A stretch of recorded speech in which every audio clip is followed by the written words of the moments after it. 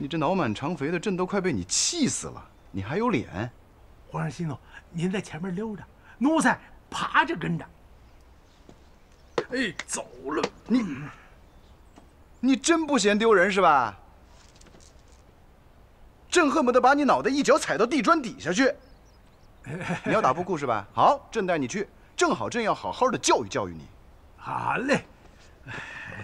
哎，鞋。哎。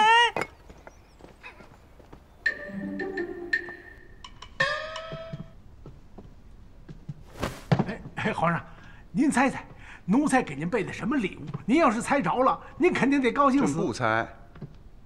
你赶紧的，把朕的亏空给补上，好几百万两银子呢。谁稀罕你的礼物啊？别财迷好不好？不是，您这样，您让我在两江待五年。行，朕让你在两江待到死。哎，谢皇上。无耻！服了，服了，服了。你别以为朕不知道你在外边败坏朕的名声。你看看你这身子骨，都楼了。哎哎哎！哎呀，皇上，你听谁说的呀？奴才不得按照规矩来吗？啊，这头手得让着您吧？啊，从小玩布库，奴才的实力，皇上您不知道吗？哼，朕还知道。你不遵圣旨，在两江越来越不像话。河道上的事儿你也要管，朕的私房钱、百姓的安家费，你都敢往嘴里塞，这天底下还真是没有你不赚的钱了，是吧？哎，嘿嘿，来呀，摔，使劲摔！哎，这，啊，哎，哎，皇上，再来，皇上，您不能听小人造谣，您知道吗？那靳府和陈黄啊，不是他这这这两个人，我从心里就不喜欢。什么玩意儿啊？觉得自己哎长得像孔圣人似的。哎，我跟你说，特别是那陈黄，那说话口气比晋府还大呢。我要不教训教训他，他就不知道天下是谁的。天下是你的呀？不不不不，哎，是您的。不不，也不全是。呃，是咱们这个老祖宗爷啊。呃，人头，呃，这个人头血里头拼出来的，呃，是不是？哎哎，他们是什么玩意儿？真把自己当主人了？哎，揍你！哎呦，哎，说，服不服？服了，服了，服了，服了，服了，服了。就冲你这句话，两江呢，你就别去了。限你在一年之内，把亏空都给朕补足了，然后再滚回来进内务府，啊。皇上，奴才啊就是看不惯。你除了会捞钱，你会治河呢，还是会修史？你跟朕说。皇上，不是，您把奴才调回来也行，奴才给您看着门户，省得那些人啊老骗您。皇上，给您打听件事儿。您真要打台湾？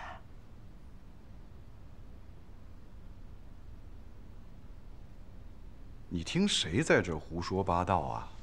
哎呦喂，满耳的都是啊！那兵部啊，派人到两江满大街去找那会造大船的工匠，城里都哭成一片。谁哭成一片啊？就那些平三番回来的孩子们，哎，他们都求我说：“哎，你见了皇上啊，你就跟皇上说，让我们死在马背上，那都不是事儿。你死在大海里啊，喂鱼了，连个尸骨都没有。”这事儿啊，不能干，是不是？那你怎么说？以奴才的见识，我跟他们说，皇上您看，您这是刚平完三番，这不能再去打仗了。再说，咱满人这上了船就晕，还过海呀过江的，这不疯了吗？我跟他们说啊，把心放在肚子里，这仗打不起来。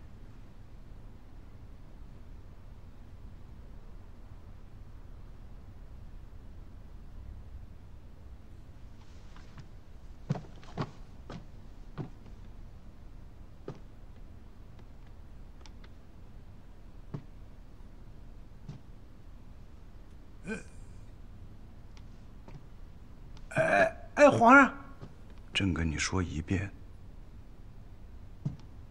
你要是再在外面跟人胡说八道，传到朕的耳朵里，朕第一个割了你的舌头。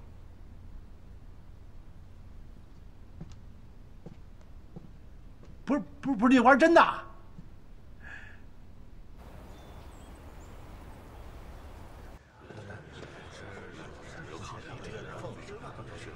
嘿，你看看人家施琅大将军往这一站，气势是真足。给所相请安。哎，给明相请安。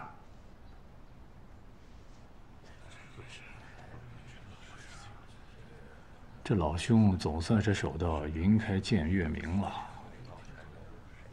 哎，他估摸着皇上该动打台湾的心思了。但你看那张脸，耷拉着，就跟谁欠他八百吊似的。哎呀，这就叫啊，一笑黄河清。大将军嘛，哪能随便就乐呀？哎，看我的！哎，石将军啊，所相有何吩咐？你的差事可来了。那天我听皇上说呀，说这个施琅还是每天喝的酩酊大醉吗？啊，朕可是要收台湾了。这，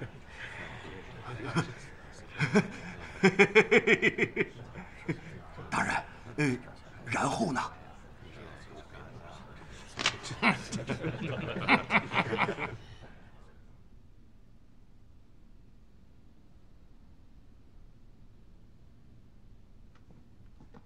哎，易大人，哎，梁公公，我找皇上有要事商议。哎哎哎，皇上，皇上！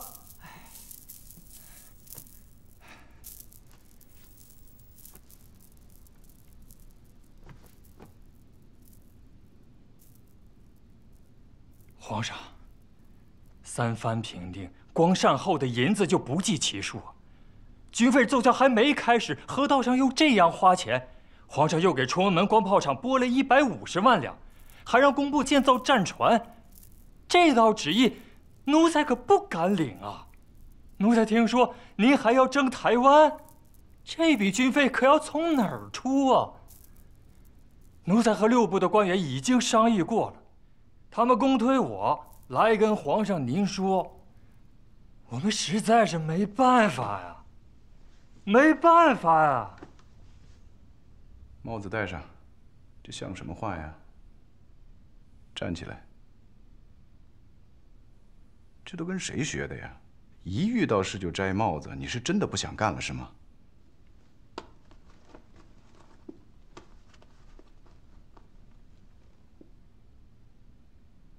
朕知道你当这个家不容易，嗯，人人都管户部伸手要钱，可以商量嘛？你去找季如溪，跟他勾兑勾兑。今年朕的寿辰本来说要重整宫殿的，朕不弄了。有这些钱，还不如多造几门大炮。现在困难，朝廷上下都要分担一些。嗯，你们回去议一议。看看有什么现在不急之物都停一下，商量好之后奏报上来。这奴才谨遵皇上口谕。去吧。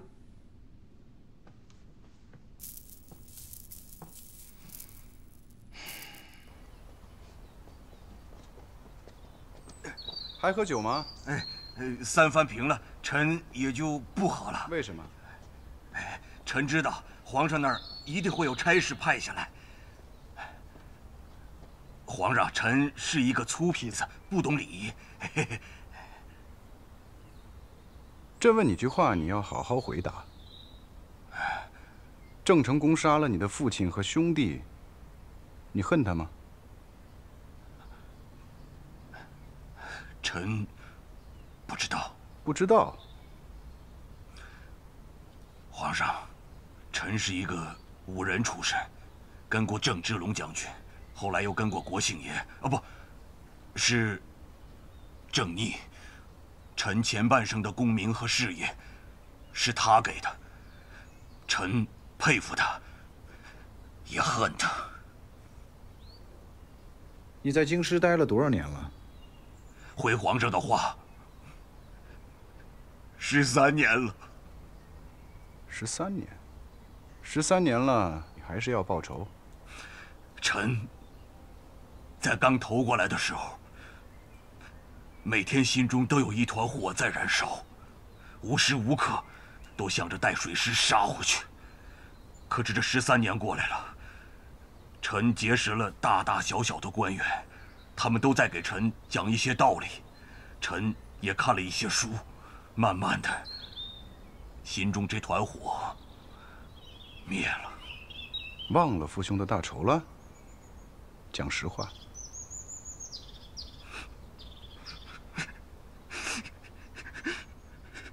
皇上，父亲养我，长兄教我，这恩情臣不会忘，这个仇臣也不会忘。但是细想想，郑逆这个人，他杀我，父兄，但是他很赏识我，提拔我，期间经历了许多恩恩怨怨。臣佩服他，是一个大英雄，赶走洋人，收回台湾，孤悬海外，还撑着前明朝廷最后那一点江山，这份忠诚，臣没有。想到这儿，臣自己的事情也就看淡了。皇上，臣知道，三藩未平，谈不到攻打台湾。臣也知道，三藩一定会平。你这是拍马屁的话。呃，不是皇上，呃，臣十三年前刚到京师的时候，城外那都是大大小小的坟圈子，城里也没有几个人，都可以走马。呃，现在呢，您再看一看，这个城外都扩充了两倍之多，城里那真是人挤人，走路呃都要当心一些。皇上啊，皇上，这要是再打不赢，那真是活见鬼了。平台湾镇唯一担心的就是你一天到晚把这私仇记在心里。现下你能这么想，朕太高兴了。让你带兵是让你把祖宗的土地收回来，不是让你去报私仇的。还有，我问问自己，如果心里有那么一点儿不痛快，就别勉强。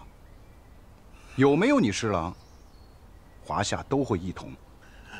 皇上，皇上，臣绝不把私仇挂在身上，如违背誓言，愿永坠地狱，求出无门。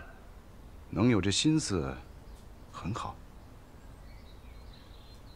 第一批战船马上就要造好了，你先训练出一批最好的水师。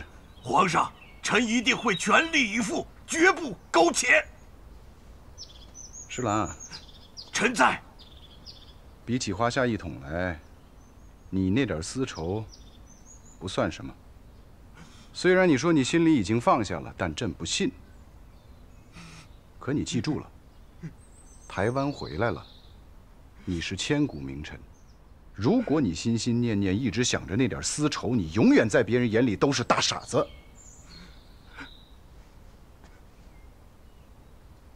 人生在世不过百年，你得自个儿成全自个儿，好好想想吧。皇上，皇上，谢皇上。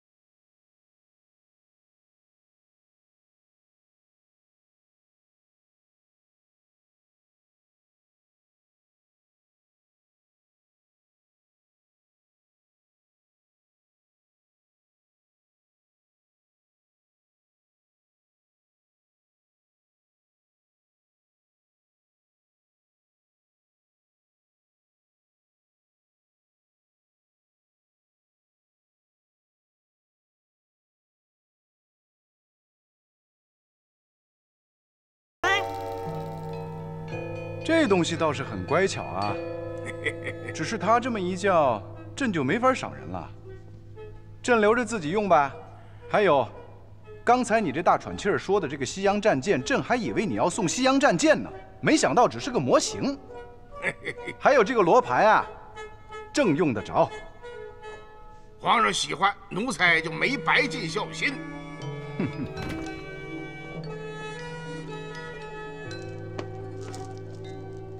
皇上万寿！奴才明珠敬献金如意十个，董香光字画十幅，董香光纸本静心十幅，字条十幅，中堂十幅。这下朕临字就再也不用担心字贴少了。好，好，好。都注意啊！慢点啊，箱子要轻拿轻放。慢点慢点。去，走，点儿。来两个人，把这个搬下来。来慢点慢点。小心啊！小心点。慢点慢点。慢点啊！过来一个。再来两个人，把这个搬下来。慢点慢点。哎，来了来了。慢点啊！结实了啊！官员按各部分别在三个殿赐宴。高士奇。臣在。晋府和城隍也想最后一个送礼，你先送吧。回皇上话，臣的礼和晋府城隍的合在一起了。他们从河道上来，你的礼怎么会跟他们的一样呢？哼，高相，这时候卖寒酸可就没什么意思了。这内臣勾结外臣，这可是个忌讳。今天皇上高兴，我再替你求个情，不治你的罪，以后你可得当心啊。那我这先谢谢所相。拿出来吧。你们这二十车礼，把京师九城都惊动了，朕也想一睹为快呀。这。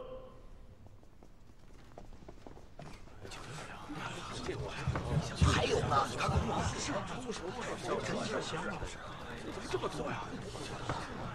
多少箱啊？这好几大箱子。那后边里边里边什么东西？这还有知道装的是什么？是呀。晋总可怎么这么有钱？晋总就会这么有钱呢？嗯，这么多。能喜欢的，我是想不出来，是没想到。禀告皇上，河道官员们敬献的是。天下长河沙盘图。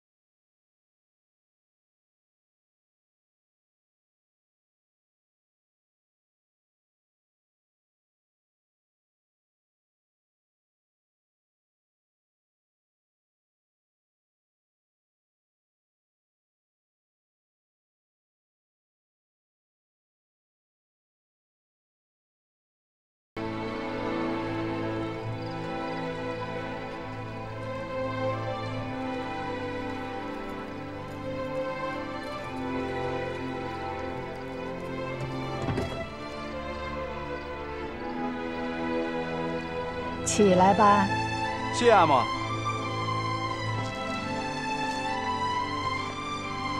太皇太后懿旨，都起来吧。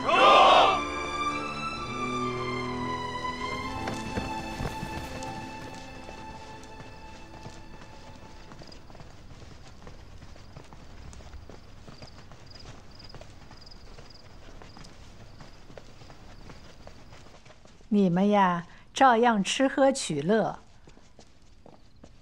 我是心里高兴，过来看看。你们要是当真了，我的兴致就没了。阿嬷，孙儿今天想给阿嬷唱一出，愿讨阿嬷欢喜。你什么时候会唱戏了？唱的哪一出啊？阿嬷，您瞧好了。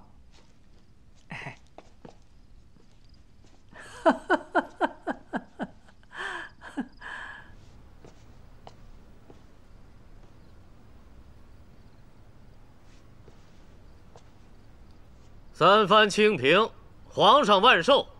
这文武百官都给皇上送了寿礼，皇上虽然不用还礼，可总也得表示表示。一来嘛是为了亲近百官，这二来啊，也是为了孝顺孝顺太皇太后。你们给朕送了礼，朕给你们唱出戏，算是还礼了。谢皇上。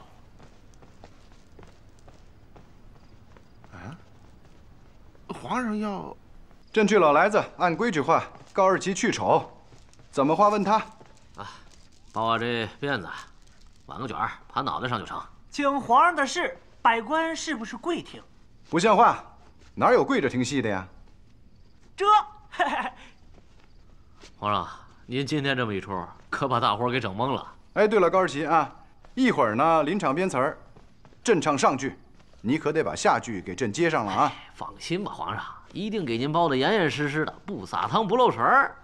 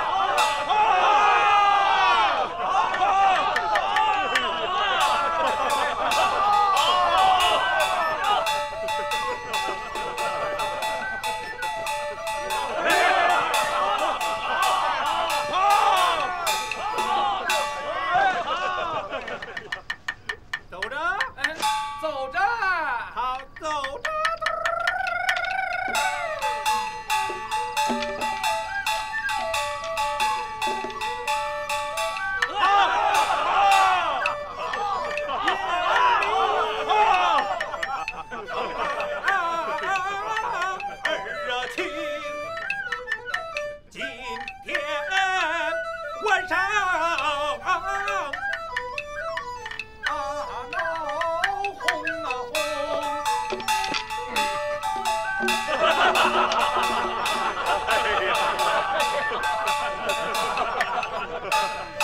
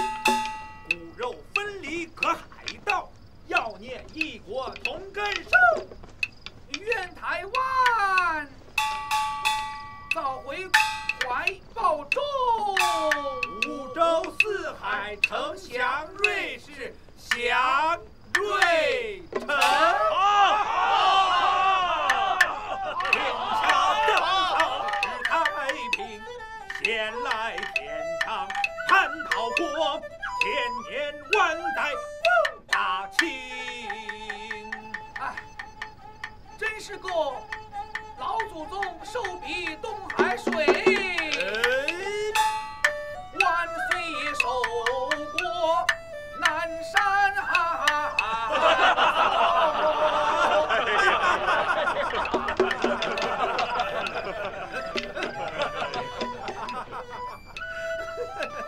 凭这凭这凭凭这，这凭这凭这这凭哎！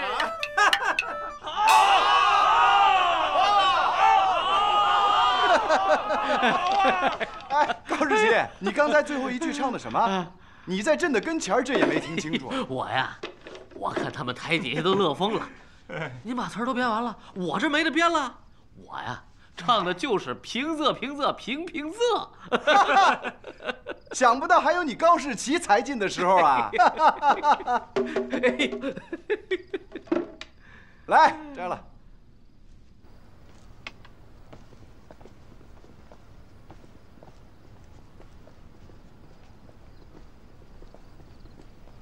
皇上，奴才听皇上这出戏呀、这心窝里热乎着呢。奴才愿意重新披挂，给您当一小卒子，战前听遣。阿西西，你这说的可是真心话？真心话。来，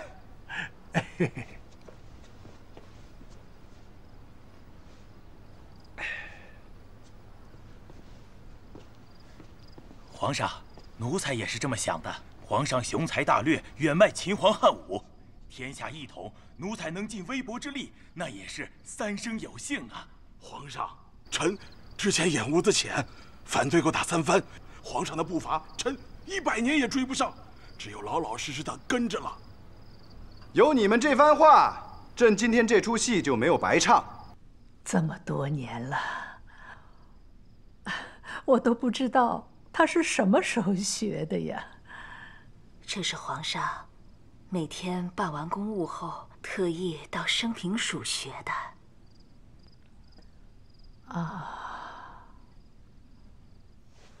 哎呀，哟，九公啊！嘿，哎，我问你啊，我刚刚跟皇上唱那出，您觉得怎么样？珠联璧合，绝了啊！哎，那皇上是不是得赏我点什么呀？您跟皇上好好说说，这顶子给我换一个。哟，皇上让我问您，明太祖朱元璋有篇文章叫《大告》，哦，这里边啊有一段话，大概是皇上想提拔谁，想惩处谁，这身边的近臣呐、就偷偷的跑出去卖消息，逞聪明，以为皇上啊不知道。皇上让您回去读一读，说这就算唱戏的赏赐了。咱们呢，两不找。您跟皇上说，我一定好好读，读，好好读。哦，对了，这是陈黄，河伯投胎，进府是河都，陈黄呢是大清要员。陈大人，久仰久仰，久仰久仰。我不是什么大人。地方挑好了吗？皇上，我想选在洪泽湖，离清江浦很近，河面宽敞，河道上有河兵，也有民夫，咱们一家人不说两家话。将军若需要河道支持，义不容辞。我练兵要求隐秘，士兵除了训练之外，不得走出营门半步。你们在河道上也要约束河工，不事先通报，一人一船，入洪泽湖。我认得你，军法认不得。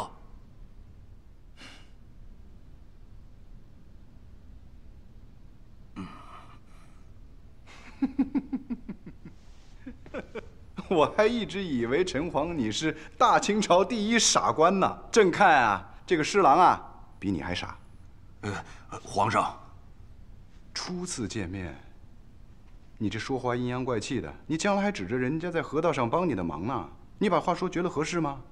嗯，呃，陈大人，卑职是个粗坯子，不懂礼，望海涵。不妨事，我也是个粗坯子。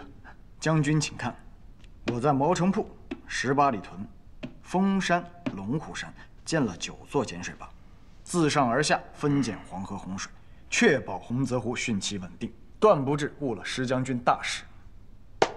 好。这要耽误了练兵，那就是你陈黄的罪过；这要打不下台湾，那就是你施琅没有能耐。皇上，恳请给臣五年为期。不管是五年、十年，也都有你。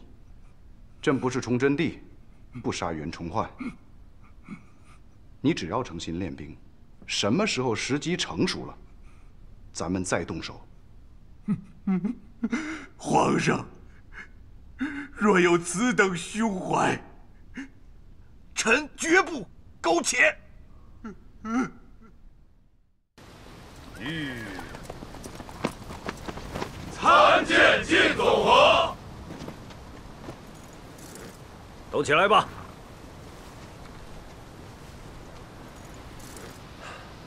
都到齐了。回大人，按您的吩咐。清水台一线六十三名核务官员全部到齐。好，跟我来。是。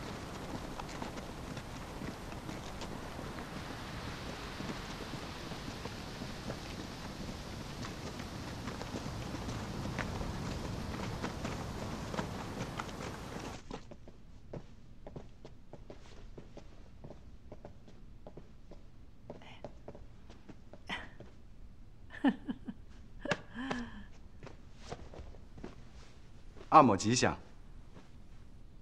来，跪啊！阿玛刚才怎么教你的？左手、右手，哎，跪。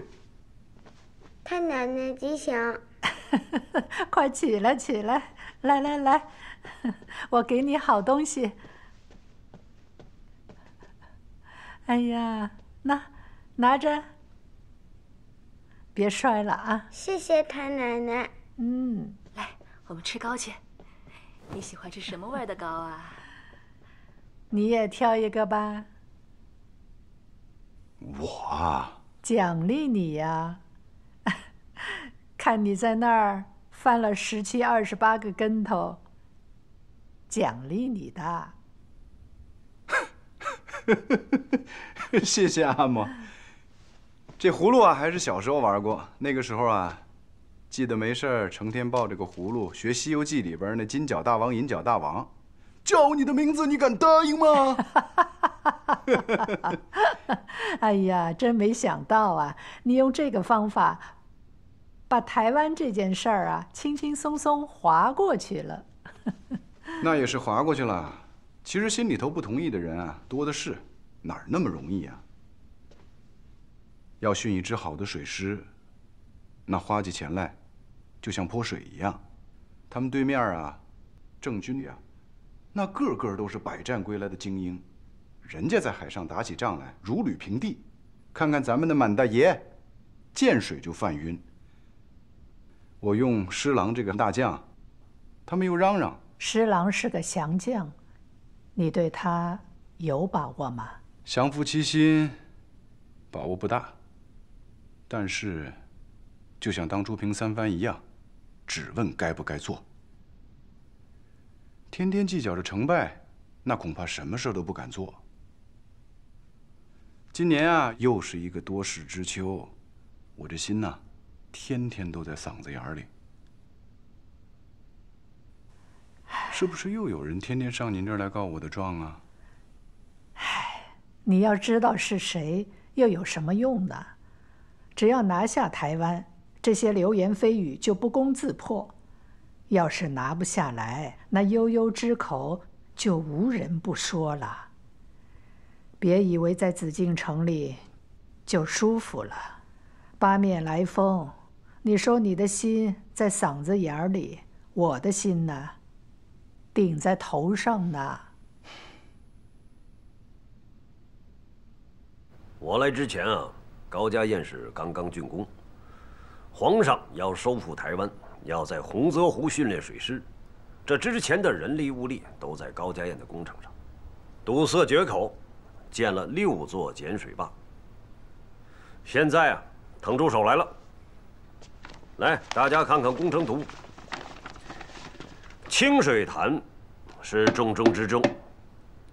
清水潭大坝失修啊，是造成河患的主要原因。所以这一次，诸位要格外的出一把力啊！我们设计了九百二十一丈的西堤和六百零五丈的东堤，选上好的狼山青石，一石到顶，形成一道汉淮堤防的天然屏障。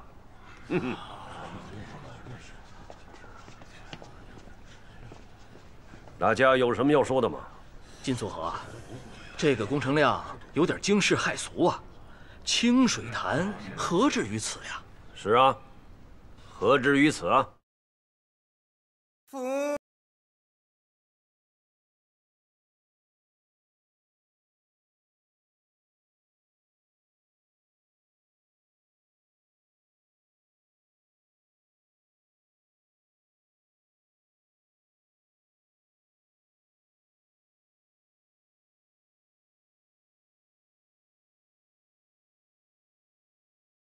良友一也。